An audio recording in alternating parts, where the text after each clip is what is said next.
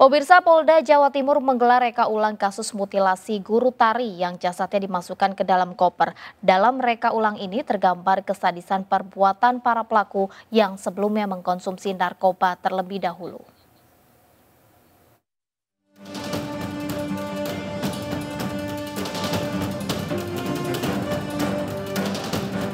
Dengan pengawalan ketat, dua tersangka pembunuhan Aris dan Aziz melakukan reka ulang di warung kopi Desa Sambi, Kediri.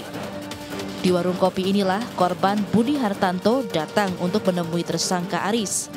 Tak lama kemudian, keduanya terlibat cekcok dan dilerai oleh tersangka Aziz. Namun bukannya mereda, korban yang emosi langsung mengambil parang milik Aris. Tersangka Aziz kemudian berhasil merebut parang dan membacok Budi. Korban yang tak berdaya kemudian dibawa ke kamar dan di kamar korban kemudian dibekap mulutnya hingga tewas. Setelah itu tubuh korban dimasukkan ke koper dan dibuang di jembatan Karanggondang, Blitar. Sedangkan kepala korban dimasukkan ke plastik dan dibuang ke tempat berbeda. Menurut polisi, aksi para tersangka tergolong sadis.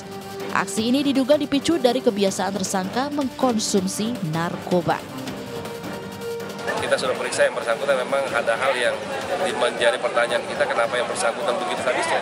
Ternyata yang bersangkutan sering mengkonsumsi hal-hal yang bersifatnya stimulan ya, kayak narkoba dan sebagainya.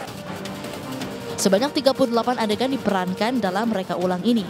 Rekonstruksi digelar di enam lokasi di antaranya sanggar tari milik korban, warung lokasi pembunuhan, dua lokasi pembuangan mayat korban, dan rumah tersangka Aris Sugianto. Dari Kediri, Jawa Timur, Afnan Subagio, iNews melaporkan.